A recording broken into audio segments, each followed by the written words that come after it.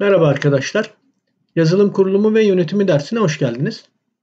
Bu dersimizde uygulama yazılımları üzerinde duracağız. Uygulama yazılımları nedir? En çok kullanılan kişisel bilgisayar uygulama yazılımları hangileridir? Bunları size anlatmaya çalışacağım.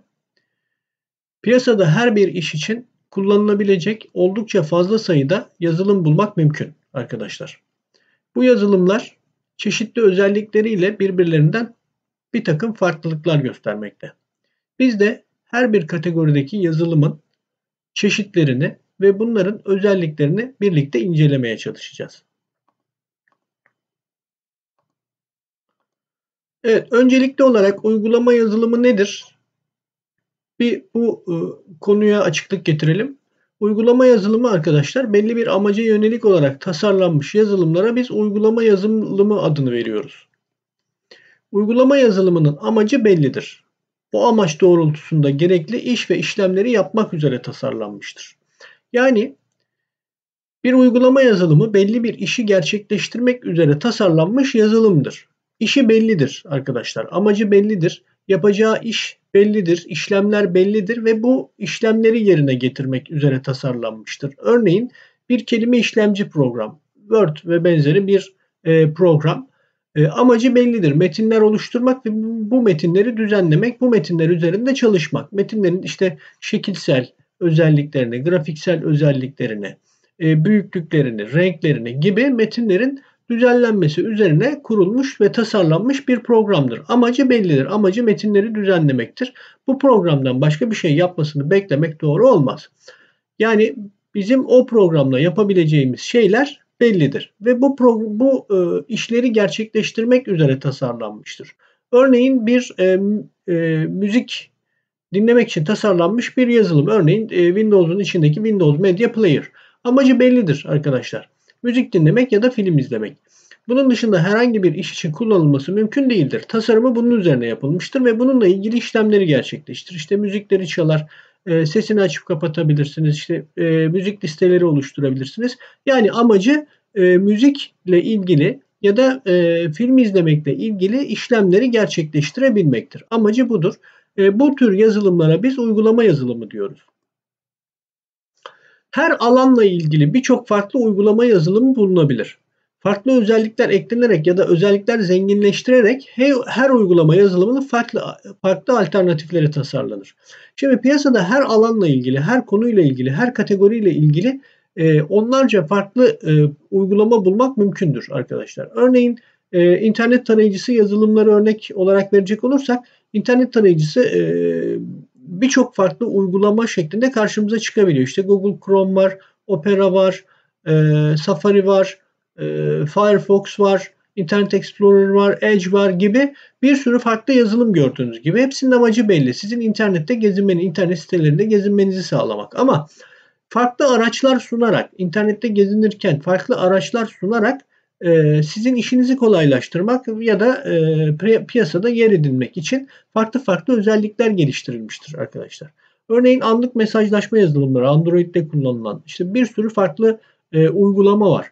Hepsinin bir takım farklı birbirlerine göre farklı özellikleri var. İşte birisinde emoji fazla, birisi e, işte görüntülü görüşme de yaptırabiliyor. İşte e, birinde e, gifler var gibi e, farklılıklar gösterebiliyor.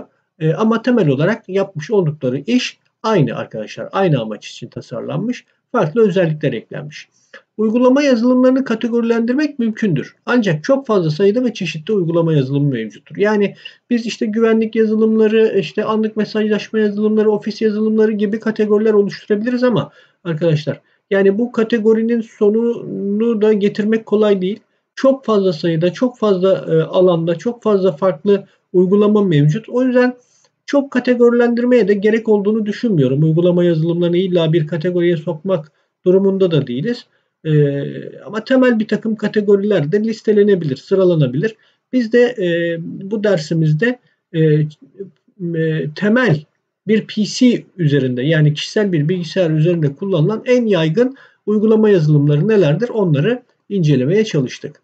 Nelerdir bunlar bakacak olursak arkadaşlar yedekleme yazılımları, sürücüler, driver yazılımları, ofis yazılımları, sıkıştırma yazılımları, internet tarayıcıları, browserlar, elektronik posta yazılımları, anlık mesajlaşma yazılımları, doküman görüntüleme ve elektronik kitap, cihaz ve yazılımları, dosya alışverişi, bulut uygulamaları, özgür yazılım ve Android uygulamaları, fotoğraf görüntüleme ve düzenleme yazılımları, video ve müzik yazılımları, sanal gerçeklik ve artırılmış gerçeklik uygulamaları, bilgisayar güvenliği o, e, e, olmak üzere temel konu başlıklarımız bunlar ve bu konulardaki uygulama yazılımlarını birlikte incelemeye çalışacağız arkadaşlar.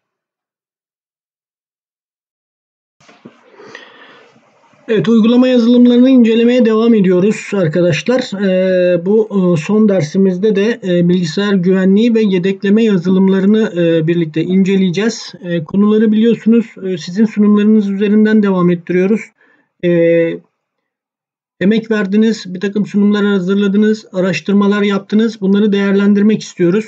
E, normalde bunları siz derste kendiniz e, hazırlamış olduğunuz sunumları e, kendiniz sunuyorsunuz ve biz değerlendirme yapıyoruz. Normalde dersin işleyişi bu şekilde olacaktı ama e, süreç dolayısıyla e, bu mümkün olmadığı için e, burada sadece sizin sunumlarınızı kullanacağız. Sunumlarınızı bu şekilde değerlendirmiş olacağız. Emeklerinizi boşa harcamamış olacağız arkadaşlar.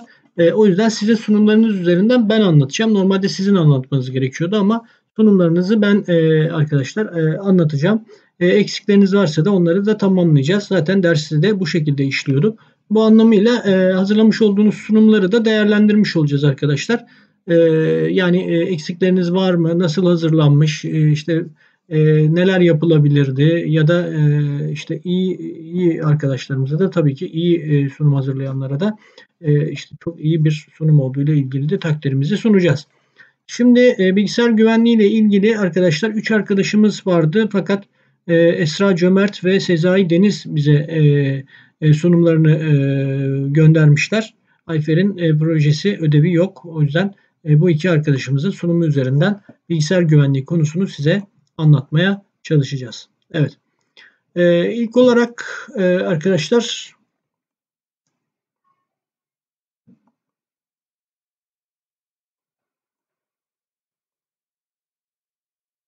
Evet, Esra'nın e, PDF'e dönüştürmüş sunumunu bunun üzerinden gideceğiz arkadaşlar. Trojan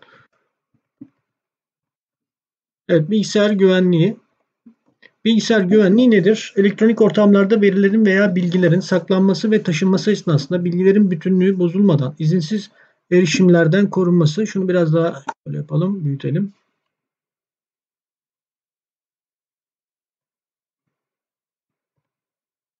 Evet. Bütünlüğü bozulmadan izinsiz erişimlerden korunması için güvenli bir e, bilgi işleme platformu oluşturma çabalarının tümüdür. Bilgisayar güvenliğinin amacı ise kişi ve kurumların bu teknolojileri kullanırken e, karşılaşabilecekleri tehdit ve tehlikelerin incelen, incelemelerinin yapılarak gerekli önlemlerin önceden alınmasıdır. Olarak tanımlanabilir arkadaşlar. Bilgisayarınızı korumak için alabileceğiniz önlemler nelerdir? Bunlara bakalım. Bilgisayarınıza parola koymak. Evet bu e, alınabilecek bir önlem. Antivirüs programı kullanmak önemli arkadaşlar. Ee, e, internetle sık haşır neşir olan işte dışarıdan çeşitli ortamları bilgisayarına getiren arkadaşların mutlaka bir antivirüs programı kullanmasında fayda var. Bilgisayar güvenliği için firewall kullanılmalı. Bilgisayarımızın açık portları kapatılmalı. Dosya e, ve dosya paylaşımının kapatılması lazım. İnternette gördüğünüz ilginizi çeken veya güvenmediğiniz elektronik postaları açmayın. Bu nokta çok önemli.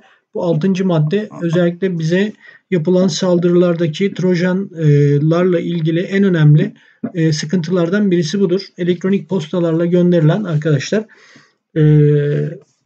e, trojanlar bilgisayarımız için ciddi tehditler oluşturabilir. O yüzden bilmediğiniz, kaynağını bilmediğiniz, e, size çok cazip gelebilecek şekilde işte e, şöyle şu kadar şey e, para kazandınız, işte size piyangodan bu çıktı gibi böyle çok ilginç şeylerle sizin ilginizi çekip elektronik postayı sadece açmanız bile e, bir trojanın bilgisayarınıza, e, ajanın bilgisayarınıza e, bulaşmasına sebep olabilecektir. O yüzden e, lütfen önce kimin gönderdiğine bakın maillerinizi e, tanımadığınız bir yerden geliyorsa ve şüpheli e, hissediyorsanız o mailleri lütfen açmayın arkadaşlar. Bu tür mailler genellikle spam mail kısmına düşüyor arkadaşlar. E, ama e, düşmeye de bilir. e, bu konuda sizin uyanık olmanız lazım. Evet. Her sitede aynı şifreyi kullanmayın. Çünkü bazı kötü niyetli site sahipleri şifrenizi görerek diğer hesaplarınıza erişebilir. Parolanızı zor seçin. Dışarıdan getirdiğiniz CD, disket, flash disk, hard disk araçlarını bilgisayarınıza takarken virüs programını da taratın. E, bu önemli. Özellikle e, bir flash disk dışarıdan takıyorsanız arkadaşlar önce bir virüs taraması yaptırmanızda fayda var. E, dosyalarınız çünkü sizin için önemli olabilir e, kaybetmek istemeyebilirsiniz. O yüzden e, bu konuda dikkatli olmak lazım. Güvenmediğiniz kişilerden gelen linkleri açmayın. Unutmayın dikkat edin virüs programının içinde virüs olması olayı kimsenin aklının ucundan geçmez. Ona göre virüs programını seçerken dikkatli olun. Tabii bir antivirüs programı kuruyorum deyip bilgisayarınızın güvenliğini de ortadan kaldırabilirsiniz. Virüs nedir arkadaşlar? Ee, önemli noktalardan birisi bu. Veri girişi yoluyla bilgisayarlarda çalıştırıldığında sistemin veya programı bozulmasına veya veri kaybına veya olağan dışı çalışmasına neden olan e, programa diyoruz biz arkadaşlar. Bilgisayar programına diyoruz. E, virüs de aslında bir programdır. Bilgisayar bir e, virüs de e, bizim kullandığımız programlar gibi bir programdır. E, ama bu program e, verilerinize, programlarınıza zarar verebilir ya da donanımlarınızı yönetmeye e, varana kadar e, sizin kontrolünüz dışında donanımlara müdahale etmeye varana kadar işlemler yapabilir arkadaşlar virüsler. E, ekranınızda can sıkıcı virüsler neler, ne e, sonuçlar doğurabilir? Ekranınıza can sıkıcı mesajlar çıkararak çalışmanızı bölebilir, engelleyebilir. Bilgisayarınızın hafızasını veya diski alanını kullanarak bu kaynaklara verimli erişiminizi engelleyebilir. Kullandığınız dosyaların içeriklerini bozabilir, silebilir. En çok zaten yaptığı şeylerden biri budur. Dosyalarınıza zarar vermek ya da dosyalarınızı silmek. Programlarınızı bozabilir. Bilgisayarınızın çalışma hızını ya da bir programın çalışma hızını yavaşlatabilir arkadaşlar. Hatta çok çok yavaşlatabilir. Mouse'u hareket ettiremeyecek noktaya kadar sizi taşıyabilir. Sabit diskinizi tamamını ya da önemli dosyaların olduğu kısımları silebilir. Kişisel bilgisayar bilgilerinize ulaşıp çalabilir arkadaşlar virüsler bu tür sonuçlar doğurabilir. Çok ciddi virüsler var bu anlamıyla. Örneğin 96'da e, arkadaşlar ben e, öğrencilik dönemimde ortaya çıkan çok önemli bir virüs Çernobil virüsü ya da CIH virüsü olarak geçen virüstü ve donanımsal olarak hala daha e, en büyük zararı veren virüslerden biridir. BIOS'u siliyordu arkadaşlar. Hard diski, FET'ini, FET dediğimiz dosya sistemini uçuruyordu e, anakart gidiyordu, hard disk gidiyordu. E, oturup ağlayan müşterilerimiz oldu. Ben o dönem e, piyasada da çalıştığım için e, o dönem çok ciddi e, zararlar e, yarattı arkadaşlar. Donanım üzerinde bu kadar zarar yaratan e, hala bir virüs yok arkadaşlar. Bu tür e, ciddi zararlar da oluşabilir. Trojan nedir? Trojan virüs e, meşru görünen ancak bilgisayarınızın kontrolünü ele geçirebilen bir türlü e, kötü amaçlı kod yazılımıdır. Verilerinizi veya ağınıza zarar vermek, bozmak, çalmak veya başka zararlı eylemler uygulamak için tasarlanmıştır. Trojan'ın anlamını biliyorsunuz arkadaşlar. Trojan Truat'ı, e, Türkçe Truat'ı diyoruz biz buna. E, bu da, daha çok programları ya da dosyaları bozmaktan ziyade daha çok yaptığı iş arkadaşlar e, sizin kapılarınızı açıp portlarınızı yani açıp e, dışarıdan erişime açık hale getirmek. Yani e, bilgi sızdırmak için olabilir. E, bilgisayarınızdaki işte belli şeylere ulaşmak için olabilir. Sırf eğlence olsun diye bu yapılabiliyor arkadaşlar. E, şeyi budur. Yani genelde bilgisayarın çalışması sırasında çok hissettiğiniz bir şey olmaz ama e, bu sizin bilgisayarınıza erişip bilgisayarınızı yönetecek noktaya da gelebilir. Spam nedir? Sizin isteğiniz olmadan size gönderilen reklam içerikli e, maillerdir. İnternet üzerinden aynı mesajın yüksek sayıdaki kopyasını bu tip e, bir e, evet spam daha fazla detaya girmeye gerek yok. İstenmeyen reklamlar arkadaşlar. Spam dediğimiz şey bu. E, bunu biz e, Uygulamalarda da sıkça görüyoruz. E, çat pat sağdan soldan çıkan, fırlayıp çıkan e, e, reklamlar arkadaşlar. Biz istemeden bizi bir takım sitelere yönlendirmesi. E, bu da yine e-maillerle bize çok geliyor.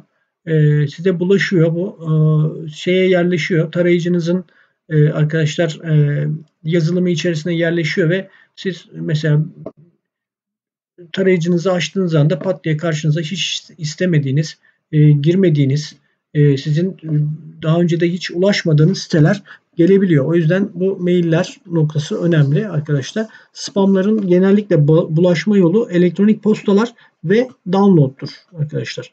Download e, emin olmadığınız sitelerden download yaparsanız da bu spamlarla e, karşılaşabilirsiniz. O yüzden dikkatli olmak lazım. Evet, Nasıl korunuruz?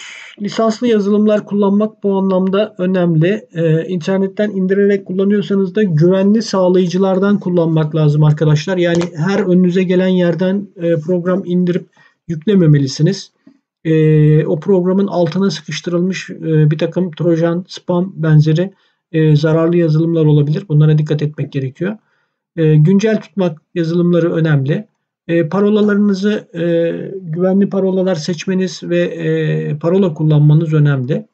Bu parolaları kaydetmeden kullanmanız da aslında önemli ama tabii bunu yapamıyoruz arkadaşlar. Çünkü o kadar çok yere parola ve e, kullanıcı adı belirliyoruz ki bunların hepsini akılda tutmak mümkün olmuyor. Bu yüzden bunu tarayıcılarda kayıtlı tutuyoruz ama bu da tabii e, o, yani böyle yapacaksak da o parolanın e, öyle kolay tahmin edilebilir bir parola olmamasına lütfen dikkat edelim.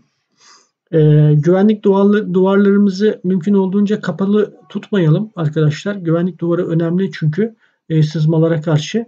E, mailler yine bu noktada en çok dikkat etmemiz gereken e, nokta. Zararlı yazılımlar nelerdir? Virüsler, solucanlar arkadaşlar, casus yazılımlar, trojanlar, e, adware dediğimiz reklam yazılımları ya da spamlar, botnetler ve e, siber saldırılar arkadaşlar. Evet, firewall nedir bu anlamıyla bakalım. Firewall terimi dilimize güvenlik duvarı anlamına gelmektedir. Temel amacı ağınızdaki genel e, trafikle giden trafiği kontrol etmek ve önceden belirlenmiş iletim kuralları çerçevesinde trafik, trafiği yönlendirmektir. E, tehdit olarak algılanabilecek dosyalar ya da bir e, e, program ya da e, bir saldırı tespit ederse arkadaşlar firewall hemen bunu engeller e, ve sizi uyarır. İşte e, böyle bir e, kontrolsüz bir programın ya da kontrolsüz bir dosyanın bulunduğu ve bunun e, bir tehdit oluşturduğunu söyler ve engeller. Siz e, özellikle izni açmadığınız sürece e, bu dosyayı engellemiş olursunuz. Aile koruması yine önemli bir kavram arkadaşlar. E, Windows'un kendi içerisinde bir aile koruması e, e, ayarları var ama e, daha detaylı, daha kontrol edilebilir arkadaşlar. Programlarda internette mevcut. Çünkü bilgisayar bağımlılığı da artık biliyorsunuz Amatem'in bünyesinde e, bir bağımlılık çeşidi olarak yer aldı. Yani uyuşturucu bağımlılığı, alkol bağımlılığı, sigara bağımlılığı neyse arkadaşlar bilgisayar bağımlılığı, internet bağımlılığı hatta cep telefonu mobil e, bağımlılığı e, da bunların arasına eklendi. E, siber bağımlılık diye geçiyor bu. E, ailelerin bu konuda çok dikkatli olması lazım. E, çok uzun süreler e, ekran başında geçirilmesi e, bu bağımlılığı e, tetikleyebilir, oluşturabilir. O yüzden e, çok e, dikkatli olmak gerekiyor. O yüzden aile koruma yazılımları özellikle e, küçük yaştaki çocukların işte 5 e, 5 yaş 15 yaş arasındaki çocukların e, bu bağımlılık düzeylerinin gelişmemesi için bu yazılımlardan faydalanabilir. Bu yazılımlar sayesinde istenilen sitelere girilip girilmemesi engellenebiliyor. Bilgisayarın kullanım süresi kısıtlanabiliyor. E, siz kontrol edebiliyorsunuz örneğin. Diyorsunuz ki işte şu şu saatler arasında kullan. E, sonra bilgisayar kapanacak. Bunu ayarlayabiliyorsunuz. Bununla ilgili e, yazılımlar mevcut arkadaşlar. Bunlar kullanılabilir. E, o yüzden bu aile koruması e, konusu e, önemli.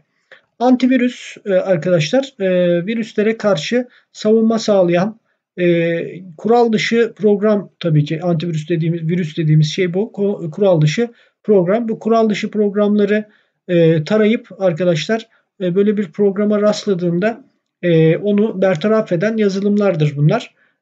bunlardan bir tanesi ESET Not 32 dediğimiz yazılım yaygınca kullanılıyor. Piyasada çok kullanılan, tercih edilen bir yazılımdır. Eset yazılımı. Ee, Avast arkadaşlar yine bir başka e, antivirüs yazılımı. E, bunun bunların da genellikle arkadaşlar e, ücretli ve ücretsiz sürümleri mevcut. E, ücretsiz sürümlerinde işte korumalar kısıtlanmış oluyor. İşte diyelim ki e, e, hem e, bir e, firewall kendi içerisinde güvenlik duvarı hem e, bir anti-spam yazılımı barındırabilir ama ücretsiz yazılımda size bunları sunmaz. Sadece antivirüs kısmını sunabilir. E, yani çok büyük paralar değil aslında arkadaşlar.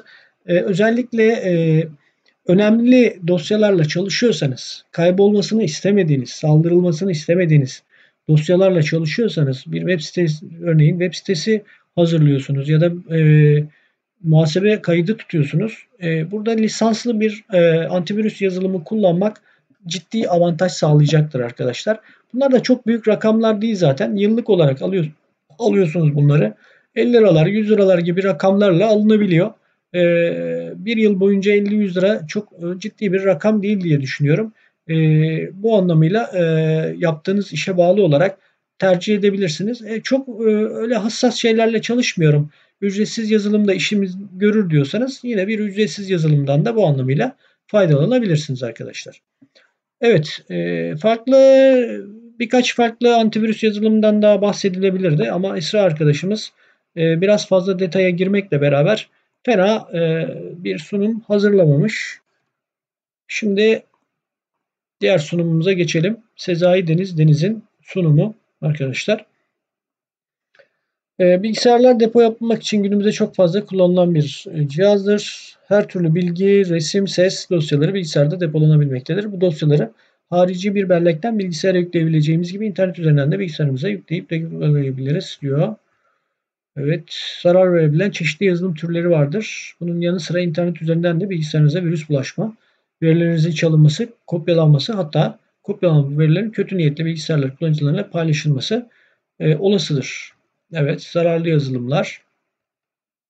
Zararlı yazılım türleri virüsler, casus yazılımlar, solucanlar, reklam yazılımlar, adware ya da spam dediğimiz, troatı, tro, trojan dediğimiz arkadaşlar spamlar e, zararlı yazılımlardan sayılabilir. Bilgisayarınızdaki dosyalara, programlara kendini kopyalayarak ya da programın kodlarını etkileyerek programınızın düzgün çalışmasını e, e, önleyen e, bilgisayar programları ya da kod parçalarıdır. Bir programı virüs olabilmesi için kendisini izinsiz olarak başka programlara ya da dosyalara ekleyerek çoğalan bir işleve sahip olması gerekir. Küçük programlar olduğundan aktif hale gelebilmesi için bir defa çalıştırılması gerekir. Çalıştırıldıktan sonra kendini de çoğaltıyor arkadaşlar bu virüsler. E, çoğaltabiliyor. E, bu da dikkat edilmesi gereken bir şey. Exe ya da com olabilir uzantıları belleğe taşınıyor ve belleği e, meşgul ediyor. Casus yazılımlar arkadaşlar yine solucanlar kendisini bilgisayardan bir e, başka bir bilgisayara kopyalayarak çoğalan virüs türü. Öncelikle sizin bilgisayarınızdan dosya veya bilgi ileten özelliklerin denetimini ele geçiriyor. Sonrasında kendi başına ilerleyebiliyor. Solucanın en büyük tehlikesi kendilerini büyük sayılarda çoğaltma becerileri. Bu şekilde sisteminizi yavaşlatıyor. Çok ciddi e, problemlere sebep olabilir arkadaşlar. En önemli bulaşma yollarından birisi de arkadaşlar e, maillerde çok dikkatli olmak lazım. Truvatları e, Trojan biraz önce de konuşmuştuk arkadaşlar. Dıştan sızmaları sağlayan e, yazılımlar spam aynı mesajdan çok sayıda göndererek bir mail adresinin formu boğmaya e, spam adı veriliyor. Çalışamaz hale getiriyoruz arkadaşlar. Bilgisayar güvenliği için parola, e, antivirüs programı, firewall'dan bahsettik. Biraz önce de detaylı olarak bunları söylemiştik. Firewall'un ne olduğunu da söyledik. Aile koruması yazılımlarından da bahsetmiştik.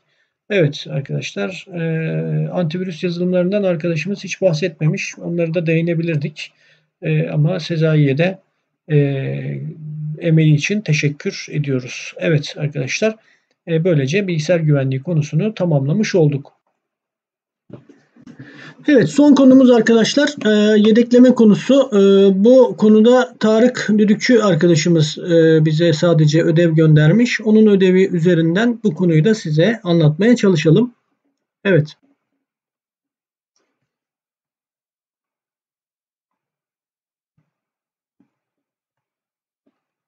Yedekleme nedir? Evet, backup yedekleme genel anlamıyla bilgisayar işletim sisteminin işlevsel olmasını sağlayan temel birimlerini, depolanan verilerin ve çalışma yazılımlarına hata, hasar veya arıza durumunda kesintiye uğramaması ve geri dönülmez bir biçimde kaybolmasını önlemek için bir kopya halinde saklanmasını amaçlayan dosyalar bütününün adıdır. E, yedekleme arkadaşlar bilgisayarımızdaki verilerin e, bir kopyalarının bir kopyalarının oluşturulması anlamına gelir. Temel olarak yedeklemenin e, en basit tanımı bu.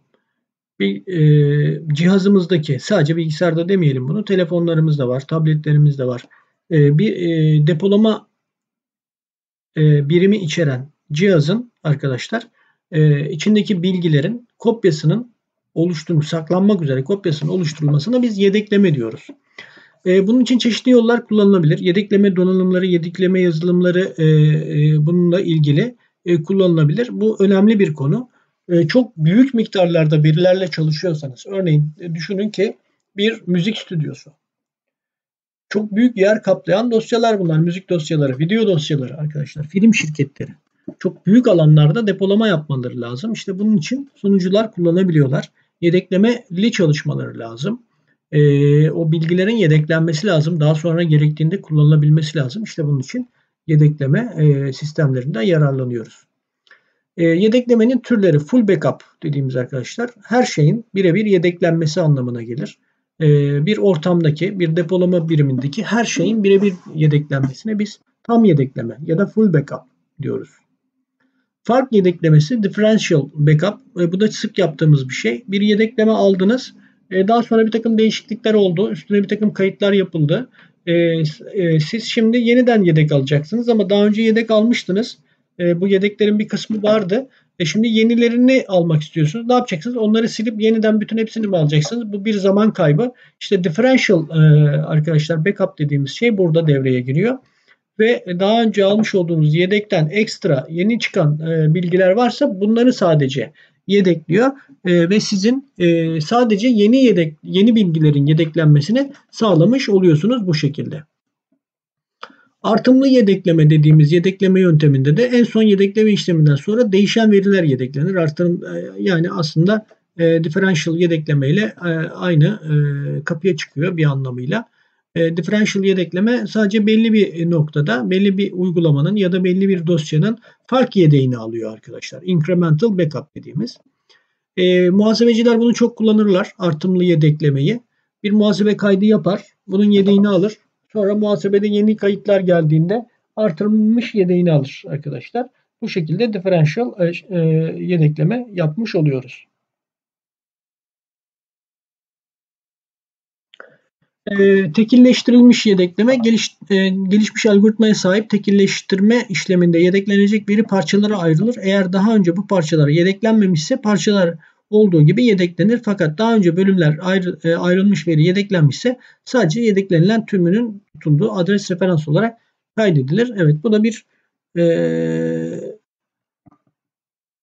deduplication dediğimiz bir yedekleme türü arkadaşlar. Evet ee, diskin yapısından bahsedilmiş. Gerek yok buna. Hard diskin e, yapısını anlatıyor arkadaşlar. E, gerek yok. E, evet. Sabit diskin görünümü. Yedekleme her zaman sabit diske yapılmayabilir. Solid State Drive, drive dediğimiz arkadaşlar bakın burada 64 GB bir sabit disk görüyorsunuz. Bir RAM bellek. hibrit hard drive dediğimiz ikisinin birlikte kullanıldığı e, manyetik ortam ve e, solid state yani e, katı yedeklemenin yapıldığı ortamlar birlikte kullanılabiliyor. E, periyodik yedek alma bununla ilgili çeşitli e, uygulamalar var arkadaşlar. E, çeşitli yazılımlar var. E, bu yazılımlar sayesinde belli e, depolama birimlerinin tamamının ya da içindeki belli klasörlerin periyodik olarak yedekleri alınabiliyor. Windows'un içinde de bu e, ayarlar var, yedekleme ayarları var, yapılabiliyor. E, ama istenirse e, ekstra bunun için geliştirilmiş özel yazılımlar da var. Bunlardan da faydalanılabilir. Burada hangi klasörün yedekleneceğini ya da hangi sürücünün yedekleneceğini seçiyorsunuz ve bu sürücü periyodik olarak yedeklenmiş oluyor. Evet veri tabanı yedekleri var. Ee, en önemli konulardan bir tanesi imaj konusu arkadaşlar bu anlamda. Ee, bilgisayarınızın tamamının imajını alıp e, örneğin siz e, bilgisayarınızda işletim sisteminizi kurdunuz. Driverlarınızı tanıttınız, programlarınızı da temel e, en çok kullandığınız programlarınızı da kurdunuz. Bilgisayarınız artık stabil çalışır hazır hale geldi ve temiz bir Windows örneğin. Şimdi siz bunun e, bunu arkadaşlar bir süre sonra Windows bozuldu. Tekrar format atıp tekrar aynı işlemleri yapmanız lazım. Yeniden driver tanıt, yeniden program yükle. Ama siz bu e, kurulumu yaptıktan sonra imaj alırsanız sistemin tamamının yedeğini alırsanız imaj dediğimiz şey o bir görüntü almış oluyorsunuz. Yani imaj dediğimiz resim demek aslında. E, diskin tamamının bir görüntüsünü almış oluyorsunuz arkadaşlar. Bütün bilgisayardaki programları yedeklemiş oluyorsunuz. Bunu bir kenara koyarsanız ki şu anda yeni laptoplar böyle çalışıyor. Kurulumlarda böyle yapılıyor. E, bu sayede daha sonra tekrar Windows kurulumu gerektiğinde bu imajı açıyorsunuz. Yine bir e, program kullanarak Acronis True Image bunlardan bir tanesi. E, yine Norton Ghost e, çok eskiden beri kullanılan yazılımlardan bir tanesi. Bunun gibi yazılımlar mevcut ama bu ikisi piyasada çok tercih edilen yazılımlar. Acronis son dönemde daha çok öne çıktı. E, yedeğinizi açtığınızda her şey hazır halde. Program e, Windows işletim sisteminin kurulmuş, işte driverlar tanıtılmış, programlar yüklenmiş, hazır stabil çalışır sistemi açmış oluyorsunuz. E, bu işlere e, normalde yüklemek için birkaç saatinizi belki bir gününüzü ayırmanız gerekirken bu imaj işlemi 10-15 dakika içerisinde bitiyor ve e, her şey hazır hale gelmiş oluyor 10-15 dakikada. Çok ciddi bir e, arkadaşlar e, bize avantaj sağlıyor. Bu anlamıyla imaj alma önemlidir. Acronis bunlardan bir tanesi. E, backup e, yedeklemek demek recovery yedeği açmak demek arkadaşlar. Backup ve recovery işlemleriyle yedek oluşturulabilir ve yedek açılabilir. E, Acronis Image ya da e, burada arkadaşımız bunları aşama aşama anlatmış nasıl gerçekleştirildiğini. E, bu sunumdan da arkadaşlar e, siz de e, size de bunları paylaşacağız. E, buradan faydalanabilirsiniz. Recovery ile de daha önce imajı alınmış bir e, sistemi arkadaşlar tekrar geri yükleyerek e, imajı açmış olursunuz ve böylece kurulumu tamamlamış olursunuz. Evet yedekleme konusunda böylece tamamlamış oluyoruz. Sunumda fena değil. E, bazı gereksiz bilgiler içeriyor olmasına e, karşın e, arkadaşımıza emeği için teşekkür ediyoruz. E, güzel bir e, araştırma yaptığını söyleyebiliriz. Evet böylece arkadaşlar e, derslerimizi tamamlamış olduk. Hepinize e, başarılı bir dönem diliyorum e, ve dersimizi burada sonlandırıyorum. Evet dersimizi kısaca bir özetleyelim arkadaşlar. Neler yapmaya çalıştık? Uygulamanın yazılımı nedir? Bunu size anlatmaya çalıştım. Ne amaçla kullanılır uygulama yazılımları? Uygulama yazılımlarının temel kategorileri nelerdir? Bu kategoriler üzerinde durmaya çalıştık. En yaygın e, uygulama yazılımları hangileridir? Öne çıkan uygulama yazılımları hangileridir? Bunların ne gibi özellikleri var? Birbirleri arasında ne gibi farklılıklar var? Bunlardan bahsetmeye çalıştık. Uygulama yazılımlarının özellikleri nelerdir? Uygulama yazılımlarının birbirlerinden farklılıkları nelerdir? E, bu konuları size anlatmaya çalıştım. Daha detaylı bilgi almak isterseniz arkadaşlar e, vermiş olduğumuz kaynaklardan faydalanabilirsiniz. Böylece dersimizin sonuna geldik. Konuyla ilgili sormak istediklerinizi forum üzerinden bize iletebilirsiniz arkadaşlar. Hepinize iyi çalışmalar diliyorum.